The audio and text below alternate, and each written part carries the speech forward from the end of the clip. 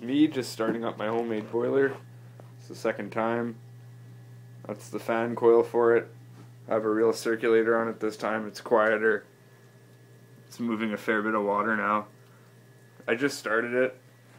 Uh, we're gonna see how long it takes to heat up. There's the circulator. I got it for free. It uh, came out of a guy named Ott Zelkos' house. Just did a boiler replacement for him. I'll go outside and see what's going on out here. Here we have the heating lines coming across the ground.